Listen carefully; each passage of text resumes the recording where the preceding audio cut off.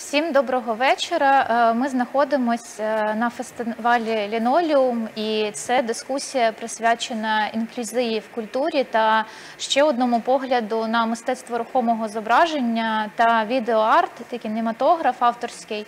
Е, Мене звати Катя Ковленко, я дослідниця сучасного мистецтва та журналістка. І зі мною сьогодні на цю тему говоритимуть е, Стас Сторіна, художник, куратор, один з засновників галереї Детемпула, відкритої групи та співорганізатор ательє Нормально, а також Станіслав Мензелевський, е, дослідник кіно, е, один з видавців е, видавництва Медуза, а також автор проєктів у Національному центрі Олександра Довженка.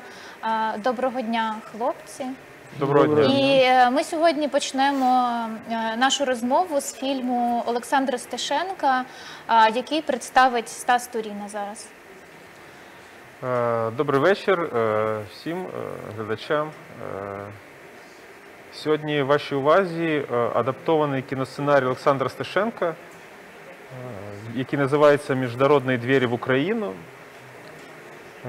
Цей кіносценарій був створений Сашою у 2019 році і адаптований нами спеціально для виставки Ательє Нормально в галереї The Naked Room.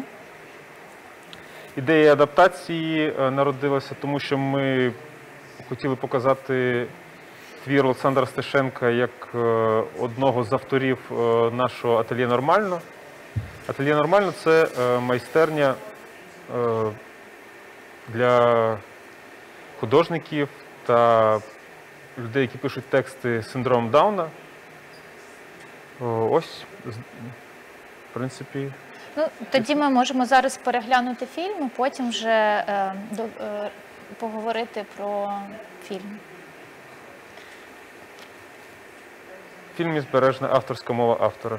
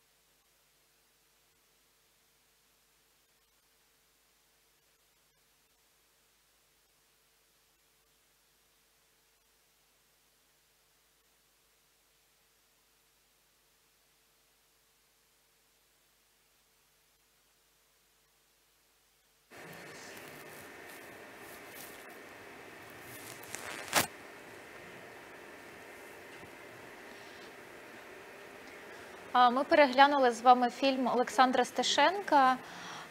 І е, я попрошу зараз прокоментувати його. Ми тут бачимо в принципі дуже багато різних тем, і якісь геополітичні ігри, і якусь роботу зі стереотипами. І спочатку, можливо, Стас Сторіна прокоментує це з точки зору ідеї самого автора, те, що він хотів вкласти, а потім Стас Манзелевський прокоментує з позиції історії кіно і критики. Дякую. Е, Мушу сказати, що е, ми говоримо Саша, звичайно, про твори. Е, Саша на даний момент нам відомо десь написав близько, напевно, 40 кіносценаріїв, і він постійно їх продовжує писати. І вибираючи теми для написання і пояснюючи свій вибір тем, Саша завжди каже, що він переживає те, що його хвилює. Е, Так як е, цей твір е, ми отримали від нього поштою, емейлом, не одразу після написання ми не можемо точно сказати, що стало поштовхом. І Саша, в принципі, не датує, коли написав твори, важко сказати. Йому теж навіть інколи важко згадати, в який саме місяць це було написано. Ти правильно помітила, що тут така суміш, я б сказав, навіть казки якоїсь е, і стереотипів, якоїсь нашої оточуючої дійсності. Е, Я впізнав е, багато своїх стереотипів про різні країни, які, деякі до сих пір є, які були колись. Це ті речі, які ніби хочеться, умовно кажучи, стерти в своїй пам'яті, але вони все одно існують. Але чи руйнує фільм ці стереотипи? Як він власне їх проробляє? Я хотів цитувати, наскільки мені приповідали Нікіта Кадан під час одної з своїх екскурсій е, виставкою в Кмитові, де цей фільм був продемонстрований, е, сказав, що е, ми бачимо стереотип, який завів самого себе в ліс і там покинув. Мені здається, досить близьке точне описання, тому що тут я б не сказав, що тут стереотип доведений до абсурда. Я б сказав, що тут, е, коли я дивлюсь, стереотип е, вплотну до мене наближається на небезпечну відстань і ніби погрожує мені своєю е, присутністю, і я бачу цей стереотип, якщо не такий самий, десь подібний в собі. І це, напевно, жахає те, що так і хочеш сказати, що це за бред е, взагалі, е, да? що це за діалоги, але не можна цього сказати, тому що це і є моя, наприклад, дійсність. Да? Ну, і виходить, що я, ну, я це кричу, да? що це за бред. Але виходить, я це промовляю не до автора, а до себе. Стас, може. Ну, я б не, не назвав це фільмом, ну це, в принципі, жанр якесь експозиційне, мабуть, або виставкове відео. Тому це доволі дивний вибір зараз показувати це людям. Це треба такий певний контекст. Але, в принципі, мені дуже сподобався, я в захваті. Кадан дуже поетично описав цей фільм. Я б теж, можливо, пропонував подивитися поетично через якусь оптику Шкловського, який писав ну, це общество ізучення поетичного язика, формалісти 20-х років, які писали про поетичну мову, яка вириває нас з автоматизованого сприйняття, в якому ми фактично мислимо стереотипами. І це є така доволі цікава, в принципі, поетична, навіть гео, якась геопоетична політична мова, бо теж зараз я передивився, і мені ось спало на думку, що це суперполітичний так само фільм і проєкт, і це, власне, фільм про інклюзивність. Тобто цей міф або якась утопія Європи, під брамою якої зазвичай там оббиває пороги якої Україна. Автор її просто інверсує, і тепер всі хочуть потрапити в Європу. Ось ця межа, яка відділяє людей В там Україну ти маєш в? Україну, так. Межа, яка відділяє людей з інвалідністю від зовнішнього світу. Ну, ось ці всі переходи, мені здається, дуже влучно І дуже, мабуть, професійно, не знаю, мене зачіпає, це, мабуть, дуже така емоційна робота вийшла. Ну тут ще варто звернути увагу на те, що акцентована форма це кіносценарії. І власне я хотіла би поговорити про кіно як е, форму інклюзивну. І можливо, ти Стас теж прокоментуєш, наскільки часто художники звертаються до цієї форми в вашому ательє або е, в інших ательє е, відео, можливо, кіно чи якісь інші форми, де присутнє рухоме зображення. Е, Сам Саша, е, зважаючи на те, що е, сценарії е, написані в принципі візуально як не кіносценарій, да? там нема е, детальних описів мізансцен е, чи дій для акторів, але він постійно просить не називати ці сценарії якби п'єсами чи просто сценаріями, просто сказати, що це кіносценарій. Якби. Тому що, напевно, Саша мріє про великий екран про фільми зняті. Я не впевнений, що- він мріє про режисуру. Він, е, в принципі, діючий актор е, театра е, Паростки, театра студії. Сам він знімався в епізодичних ролях, наприклад, в фільмі Плем'я. Також він знімався в деяких серіалах українських, бере участь в дипломних курсових роботах як актор Карпенка Карова. І він мріє, да, мріє про кіно. Для нього це, напевно, як, е, напевно, да, це визначна мрія його життя знятися в якісь серйозні і, можливо, навіть складні ролі. От. Стосовно е, інших наших колег, е, я не помічав ні в кого якоїсь особливої тяги до фотографування чи відео. Можливо, це е, справа звички, да, тому що якщо ще е, художні студії і праця в художніх студіях е, це звично, е, напевно, дитячі е, або юнацькі, молодіжні кіностудії е, або кіношколи такі доступні. е, Це, в принципі, напевно, рідкість е, для будь-як, е, ну, для всіх, так мовити. Ось. е, Я знаю, що за кордоном е, майстерні, з якими е, з керівниками яких спілкуюся, так вони працюють е, з кіно і відео. е, Це і в Польщі, і в Німеччині. Питання напевно знову ж таки впирається в е, ускладненість фінансування кіновиробництва і навіть відеовиробництва в принципі дорогий продукт, тому що е, воно потребує особливих навиків, в той час як е, е, малювання е, це в принципі аскетична доволі практика. Да, для самовираження необхідно лише інколи найпростіші матеріали і папір. Стас, може до тебе трошки інш, питання іншого характеру. Наскільки взагалі інклюзивна тематика представлена в кіно, і як представлені люди з різними формами інвалідності в кіно, і чи виступають вони в якості акторів, режисерів? Наскільки це масштабно є в кіноіндустрії? Кіноіндустрія як виробництво, в принципі, доволі інертна і консервативна система, яка, в принципі, передбачає серйозне фінансування, і тому є певні обмеження. Я більше знайомий з американським якимось контекстом, тому можу трохи ось, в принципі, про Голлівуд розказати про американську систему. І, в принципі, бо там є і статистика більш-менш нормальна, є кіноіндустрія. Але ось з питаннями інклюзивності теж не все так добре, бо за офіційними даними CDC, це центри, боже, як це? Disease Control. Контролю, центри за контролю за захворюваності в Америці, тобто ось така основна статистична одиниця. В Америці кожен четвертий американець дорослий, фактично, він живе з якоюсь формою інвалідності. Це треба уточнити, бо в них дуже широкі, широкі визначення інвалідності. Тобто туди входять і фізичні, психічні, смертельні хвороби туди входять, посттравматичні синдроми. Тобто така вибірка дуже широка. Але якщо зважити на ці цифри, то десь там 25% людей, задіяних в кіно. А коли ми кажемо про людей, задіяних в кіно, ми кажемо про людей як на екрані, так і по інший бік екрану.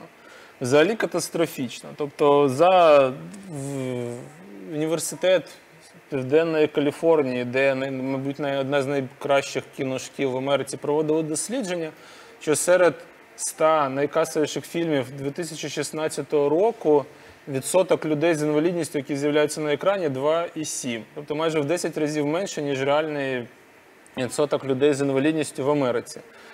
Телевізійна статистика ще більш сумна, тобто 18-19 рік прайм-тайм потрапляє 2,1% людей з інвалідністю. І це за останні 9 років найбільш, найбільший показник. Ну, Це взагалі доволі абсурдна ситуація, яка існує навіть в Америці, в розвиненому більш-менш умовно світі.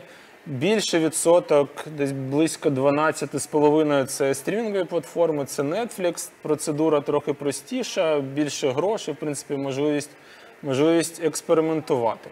Але загалом вся ця ситуація не така, як нам здається, задавнена історично. Зміни починаються, в принципі, нещодавно. Ось, мабуть, поряд, поряд з нами. Найкращий фільм, який я всім рекомендую, це Фрікс. Це фільм Тода Браунінга, це 32-й рік.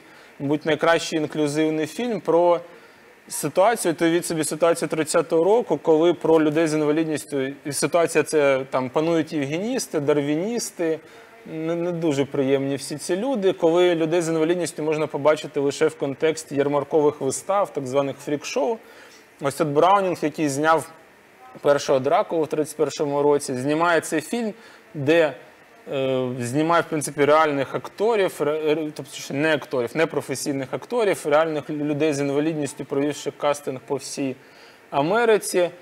І, в принципі, так знімає фільм. Тобто показати, що немає ви, немає вони, немає ми, всі ми ті самі, тобто підважує всі буржуазні стереотипи про нормальність. Фільм провалюється в прокаті, люди позиваються на фільм, що під час фільмів в них там стається викидні. Це така доволі специфічна ситуація. Ось це перший фільм, який, в принципі, мабуть, відомий і адекватний з точки зору. По тому, навіть по- сьогоднішній день, з того, що я бачу, можна виділити знов про стереотипи, якщо ми говоримо, це кілька різновидів або видів стереотипів, як зображаються люди з інвалідністю, бо навіть за якоюсь мультикультуралістською квотою можна набрати багато різних акторів, жінок, представників різних меншинств, але зображати їх не, не емансипативно, а доволі консервативно. Тобто присутність людини в кадрі ще в принципі нічого не означає. І ось ця статистика показує, або якісь мої спостереження, і якась статистика показує, що людей з інвалідністю зображають доволі специфічний спосіб, стереотипний це або демонізація, тобто людина зображається як джерело якоїсь соціальної нестабільності, як злодій, фактично. Тобто найбільш відомий фільм це від 68-го року це Розхитані нерви. Дуже відомий фільм. Мало хто Мабуть, я зараз його бачив, але чув, бо там лейтмотив в Квентіна Тарантіна в Kill Bill, це дуже популярна мелодія. Тобто там, там головний герой, який живе в заможній родині, потім вбиває свого відчима, мати дівчину, яку він закоханий, і фільм так це все пояснює, що у нього є брат із синдромом Дауна, і тому це така, тоді ще це називалося монголізмом. І тому це ось такі якісь безпосередні лінк існує між братом його і ним, і його цим злочинним поривом. Навіть фільм розкритикували, режисери ввели вступ, що нема жодних наукових доведень цього факту, що вони якось типу, пов'язані кримінальна злочинність. Але фільм, в принципі, знятий таким чином, що не, не треба жодних вступів про це. І навіть досі і кожен злодій в більшості фільмів, ми говорили про Бондіану раніше, кожен антагоніст Джеймса Бонда майже це людина з якоюсь фізичною деформацією. Або вкрита шрамами його обличчя постійно, або в нього якісь ставні щелепи, або в нього не вистачає кінцівок. Навіть останній фільм головного теж антагоніста, щось з обличчям, ми не знаємо що, бо фільм прем'єру відтермінували. Ось така ситуація. Це щодо злодіїв. Інша Інший бік це інфантилізація, коли ось ну, це Форест Гамп, мабуть, людина більш? Так, най- найбільш популярні такі хіти, мелодраматичні і сентиментальні. Коли людина з інвалідністю зображається як така, яка взагалі не спроможна існувати автономно, не спроможна на будь-які раціональні вчинки, на якесь взагалі існування в житті в сучасній інфраструктурі. Поряд, в принципі, з демонізацією можна згадати героїзацію Це теж такий ніби позитивний стереотип. Це теж маскульт американські комікси, X-Men, забув звати головного персонажа.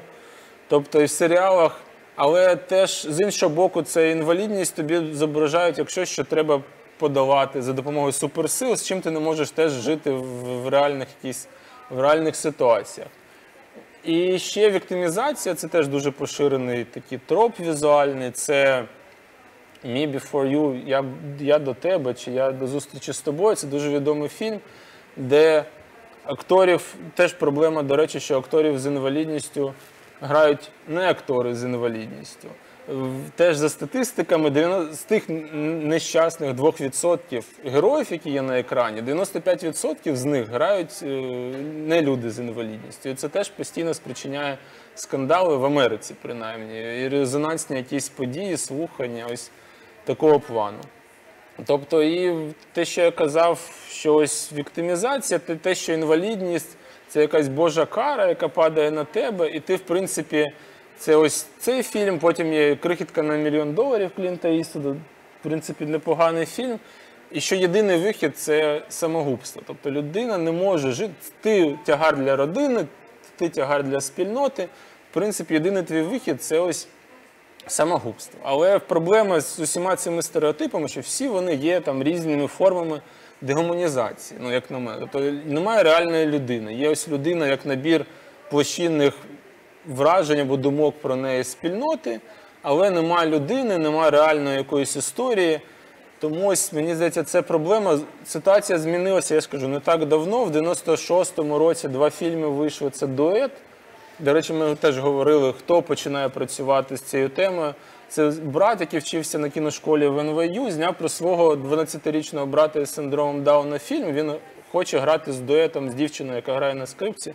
Він грає на піаніно. І фільм День восьмий Паскаль, може, забув прізвище. Він перший актор з синдромом Дауна, який отримав канську гілку за голов- головну, головну роль. Серед останніх фільмів можна згадати ну, один з найпопулярніших інді-проєктів американських це Арахісовий сокол, який теж поступово став одним з найуспішніших фінансово проєктів. І сценарій писався спеціально по Зака Готсагена, з яким режисери теж познайомились е, в таборі для ось людей з синдромом Дауна. Теж В таборі якомусь е, літньому маєш? так, так. Ось в такому традиційному літньому таборі, де влаштовуються воркшопи. Під нього написали сценарії, зняли фільм. В принципі, доволі популярний фільм. Прем'єра в Санденсі була на кінофестивалі в Санденсі. З найновіших це можна згадати серіал, не серіал, а фільм Нет- Нетфліксу. Це Crip Camp. Тобто це такий доволі ну, назва не політкоректна, це не типу щось калічний табір, теж табір. Документальний фільм створений ось одним з учасників цього табору, який запустили, не запустився він з 50-х, але активно існував під час в кінці 60-х, початку 70-х, як реакція на контркультурні всі рухи. Тобто це табір, де піонервожатими були хіпі, де, в принципі, людям давали робити в принципі, все, що вони хотіли, з таким дуже мінімальним патерналізмом. Потім це простежується історія взагалі руху громадського суспільного руху в Америці. Бо кілька учасників цього стали активними активістами цього табору, руху за права людей з інвалідністю. Що ось, в принципі, перемога це акт про американців з інвалідністю 90 року, де в принципі визначили, що таке інвалідність, що треба якось міняти інфраструктуру, міську, вулиці міняти, до- під- збільшувати рівень доступності взагалі якогось публічного простору для людей з інвалідністю. Це така одна сфера Індії. Потім є ще американської Індії. Доволі потужна в цьому плані Австралія, як не дивно. Там з 2009 року навіть функціонує Bus Stops, Films, Inclusive Filmmaking, вони так називають. Це громадська організація, яка збирає кінематографістів, які викладають в принципі, людям з різними видами інвалідності кіномистецтво. Вони на, ці, на їх основі знімають фільм. Фільм, який там було знято Будь моїм братом у 2009 році, теж нього непогана фестивальна історія і доволі це видиме. Вони до цього часу навіть знімають фільми.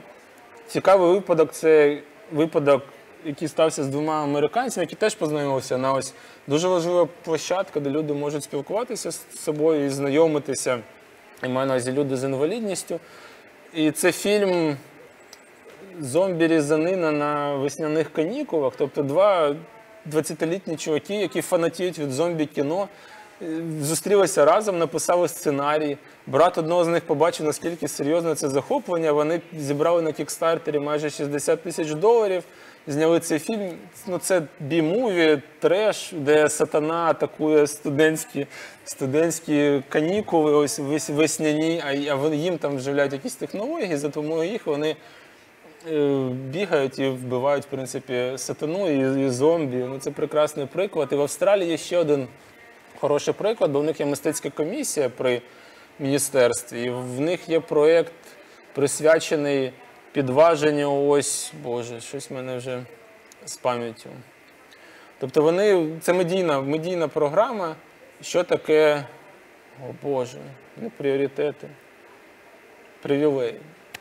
Я вже щось заговорив. Треба, треба замовкнути. Тобто присвячена людям розказують про невидимі привілеї, якими всі користуються там в в реальному житті. І вони теж зняли фільм. Режисер Лоркан Хоппер, людина з інвалідністю, яка, як і наш автор, фанатіє від е, мелодрам. І він написав сценарій мелодрами, звернувся до них до режисера, який знов познайомився з ним в одному з таких ось інкубаторів або хабів, як хочете це називайте.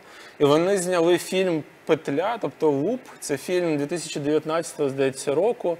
Про документальний фільм про те, як автор знімає свою мелодраму. Це фантастичний фільм, теж раджу всім подивитися. Ну, Це ось так коротко, тому мені здається, що на наші проекти, які відбуваються, які ми бачили зараз, це дуже актуальний, в принципі, трендовий, не, не знаю, якщо це не образливе слово. Тобто це доволі актуальна ситуація і доволі потенційний майданчик для подальшої якоїсь співпраці, які в таких нібито розвинутих країнах, там як Америка, тільки ну, починає якось активно візуалізуватися. Ну, зрозуміло, що кіно це в принципі такий вид мистецтва, яким е, можна займатися одному, але в цілому це досить командна робота. Але з іншого боку, ми маємо соціальні мережі, ми маємо телефони, в яких є функція фільмування та фотографування. Це можна вже використовувати. Це міняє нашу повсякденну комунікацію, і можливо, це також міняє сприйняття самих митців. І от, власне, я хотіла поговорити про це е, про те, як е, соціальні медіа впливають. А також е, ви зараз проводите Стас онлайн-резиденцію спільно з німецькими колегами, і як цей досвід онлайн-резиденції цієї форми постійного перебування. У відео форматі онлайн, як він впливає на сприйняття митців, чи можливо навіть вже існують якісь певні роботи, які вони рефлексували на цю тему? Дякую. Е, е, Дякую за питання. Я просто хотів доповнити. е, Я пригадав ще фільм Touch Me Not. е, Недотрога. е, в нас десь перекладається режисерки Адіні Пінтілітє, який десь 2000 пишеться 2018 року. Е, Це дуже цікавий фільм, який піднімає питання тілесності і питання задоволення елементарних сексуальних е, потреб е, людей з інвалідністю. Е, Питання, ось, повертаючись до теми онлайну, взагалі. Цього року у нас мала бути велика офлайн програма. Е, Наш ательє існує приблизно два роки. І цього року ІГТ-інститут і наші партнери з Німеччини та Жданого Сюдинг допомагають нам е, і фінансово, і консультаційно. Е, В рамках цього року мали відбуватися е, обмінні поїздки. Ми мали бути в Німеччині. е, Наші колеги з Німеччини мали приїжджати до України, консультувати нас по створенню майстерні як місця вже, а не тільки як е, колективу. Е, Звичайно, карантин, як і багато інших планів перекреслив, в тому числі резиденційні плани. е, Але це стало часом, як на мене, інших звершень. Необхідність перейти в певні періоди повністю в онлайн. Стало цікавим викликом. Звичайно, ми до цього якби, в принципі, не були готові, е, але ми почали пробувати, тому що е, нас ще підштовхувало те, що е, ми думали, ну, це дуже стресова ситуація для всіх. І так само ми хотіли, як мені здається, всі в перші місяці карантину да, дзвонили близьким, питали, вони більше часу проводили в роздумах або в спілкуванні з тими, про кого ми часто забуваємо, з батьками, з друзями, яким давно не дзвонили, е, друзям з різних країн, з міст. Ми так само переживали з наших друзів е, і колег з синдромом Дауна. І це нас підштовхувало до того, щоб не відкладати да, початок онлайн роботи, е, тому що ми хотіли, ну, нам перше було цікаво, як вони себе дійсно почувають. Звичайно, вони всі дуже переживали. е, да, тобто, Коли взагалі було незрозуміло, чим це закінчиться. Е, Пригадаємо да, ці е, жахливі кадри з італійських лікарень, які ширились е, в медіа. Всі дуже переживали. І ми почали займатися онлайн. І вийшло, що онлайн відкрив взагалі дуже багато чого для наших колег. По-перше, вони почали створювати домашні майстерні, так як, в принципі, завжди ми в основному займалися е, на виїзді да, в майстерні наших моїх колег Валерій Тарасенко або Олени Васик, або десь е, в музеях, в галереях. Тут постала необхідність їм вдома е, займатися. Відповідно, постала необхідність е, виокремити. с- Вони всі, в принципі, мають свій е, власний простір. Да? В когось це е, якась територія в кімнаті, в когось це ціла кімната, в когось, можливо, там кімната і ще місце технічне якесь приміщення, таке ніби майстерня чи склад. Але постала необхідність створення професійного місця. І разом з цим професійним місцем, як напевно всі ми грали в стратегії, да, почалося таке, як е, в принципі, можна сказати, відвоювання їх якби, простору свого. Ну, тобто, ну, не відвоювання, тобто е, утворення якби, таких е, агломерацій да, просторових. І в процесі розвитку нашої онлайн-роботи дехто з них почав виходити вже і на вулицю, завойовувати простір е, вулиці, е, там, на етюдах. Ось, е, якщо повертатися до теми онлайн-комунікації, як цей відеорежим впливав під час безпосередньої комуні... зустрічі в екранах, тут теж, напевно, беручи в якійсь мірі приклад наших колег з Німеччини, кожен з викладачів е, в нашій команді створює якусь свою метод... Метод... методику.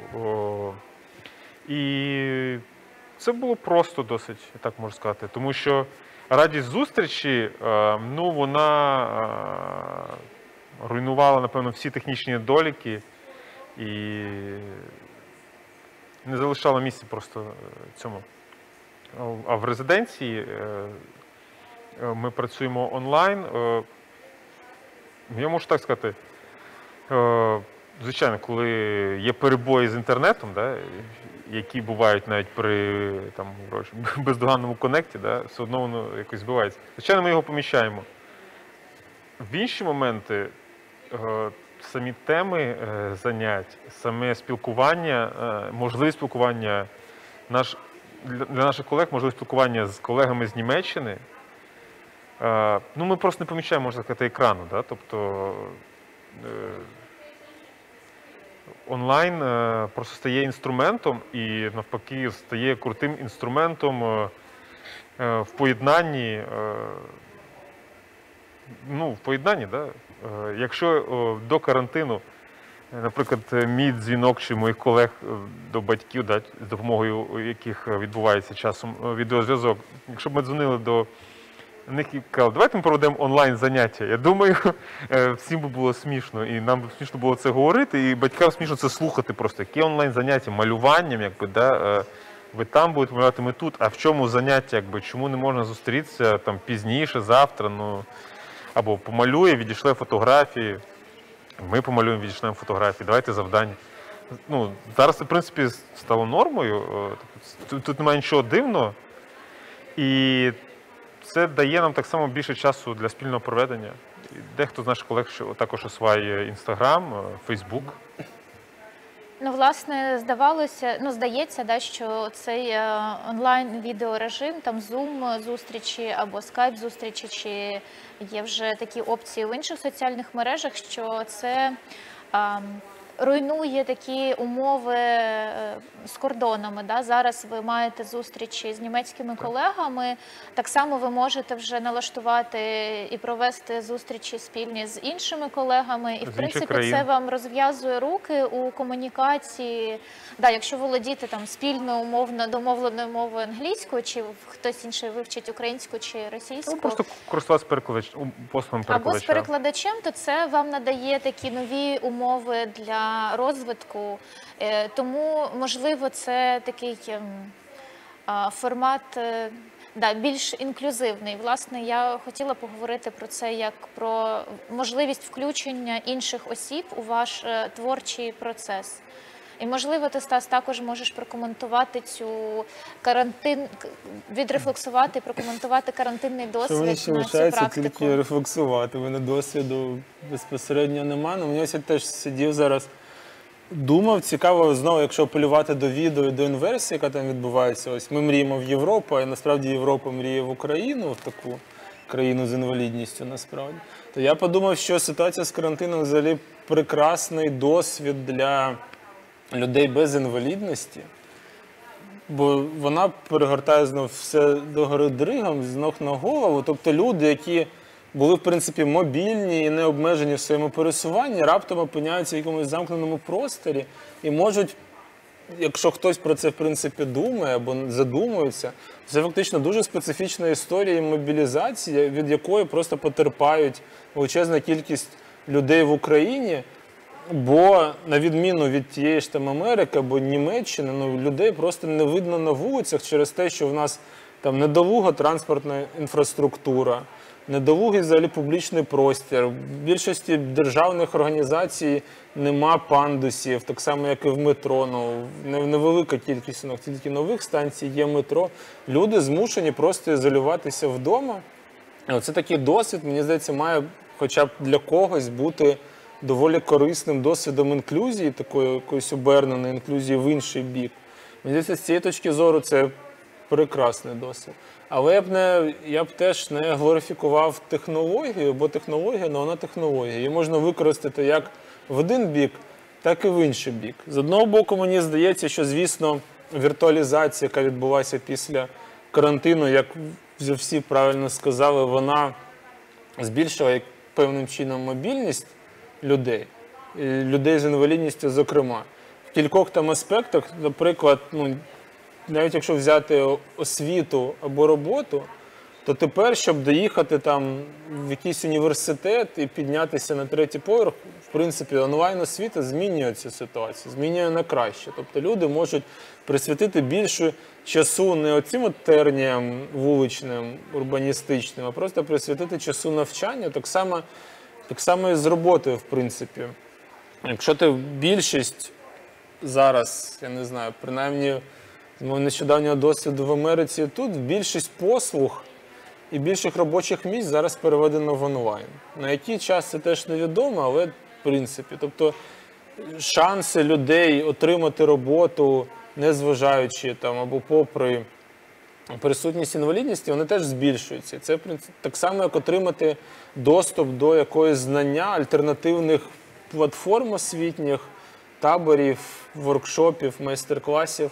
З цього боку, мені здається, це хороший досвід, як би це не, звучало там, зважаючи на всі ці карантинні, карантинні обставини. Щодо відео, теж багато було дискусій про демократизацію відео з появою там, мобільних камер і все інше. Але так само, як казати, що ось в тебе є ручка і папірець, значить ти автор. Ну так не працює, бо кіно і відео формат це в принципі теж індустрія, яка залежить.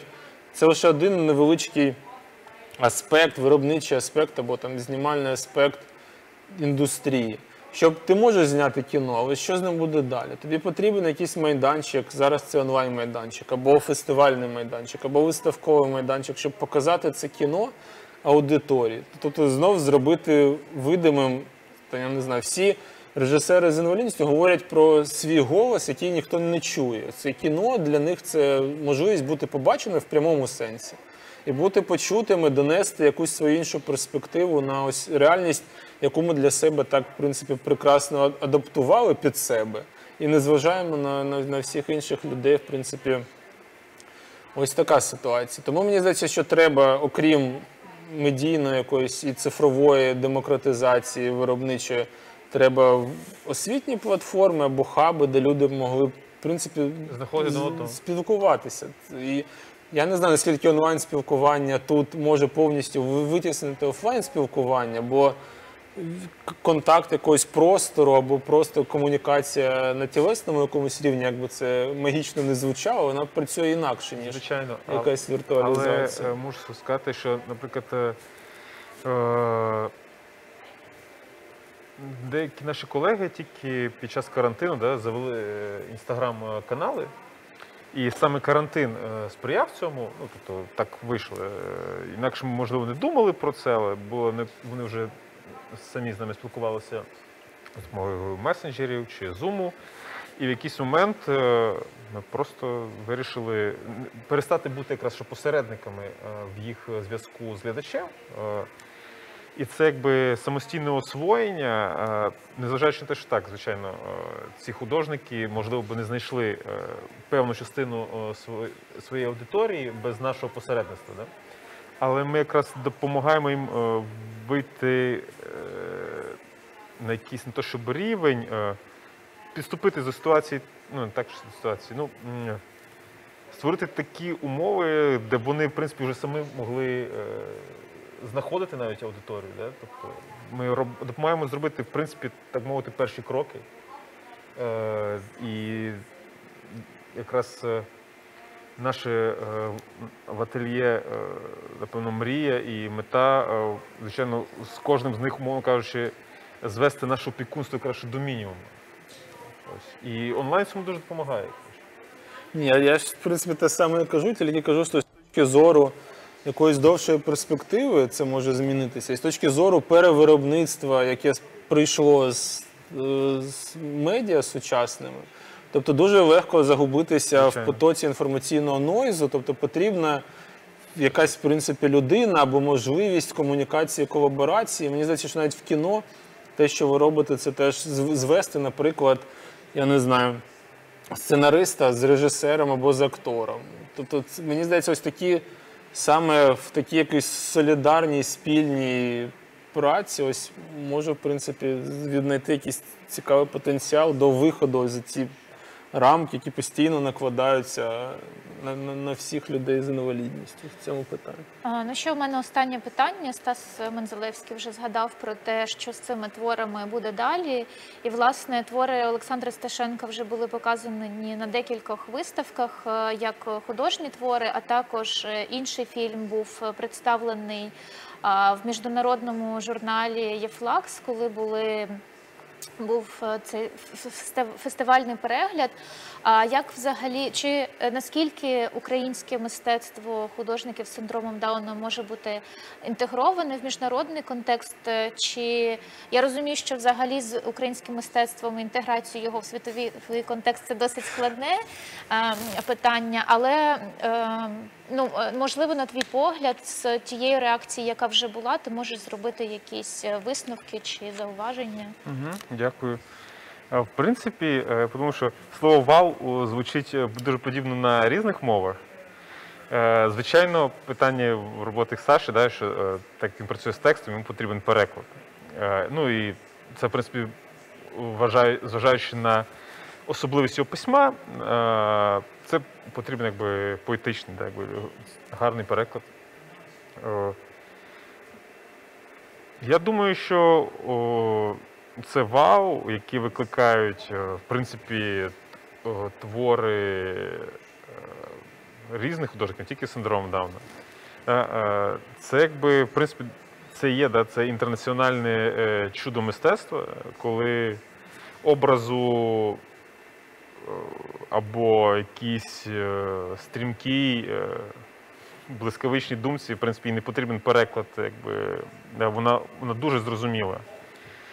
Е, У нас до карантину були плани е, виставок, е, ну тобто були плани почати якісь виставки розробляти і з польськими колегами, з білоруськими, і були запрошені з Німеччини, е, з деякими колегами з інклюзивної сфери е, ми обмінюємося інформацією з Росії. е, Ось. Тому, в принципі, напевно, це не то, що маргінальність, ну, це сегмент артбрют, да, так би мовити, як його називають, або ж інколи називають мистецтво аутсайдерів, він невеликий е, у всьому світі. І це, напевно, допомагає створити оцю таку. На даному етапі розвитку це допомагає створити цю міжнародну навіть ком'юніті, тому що е, всі раді і заявкам з інших країн, і якщо ну, є багато в світі, до речі, конкурсів для художників е, інклюзивного спектру. Тобто, і мені здається, якраз, що е, в цьому плані е, бар'єри досить примарні, е, тому що, не знаю, я їх, напевно, не відчуваю просто, цих кордонів. В принципі, можливо, через те, що, звичайно, наші колеги мріють поїхати в Німеччину або в інші країни, але Де ключі від да, я, я хочу сформулювати, чому вони хочуть поїхати. Да? Женя хоче поїхати до своїх друзів, з якими він знайомий з Німеччини. А Саша, тому що в Білорусі, наприклад, тому що там чудовий е, зал, де можна виступити. Ось. Ну і всі вони мріють, е, що, в принципі, але напевно, т- да, всі вони мріють е, про Україну, де, де вони могли жити самостійно. Добре, дуже дякую вам обом сьогодні за участь і за цю розмову. Ми не маємо питання аудиторії, і тому я думаю, що можна вже е, закінчувати нашу дискусію. Якщо у вас немає щось, е, що ви можете додати. Та ні, виговорилися. Дуже дякую вам, до побачення. На все добре. Дякуємо.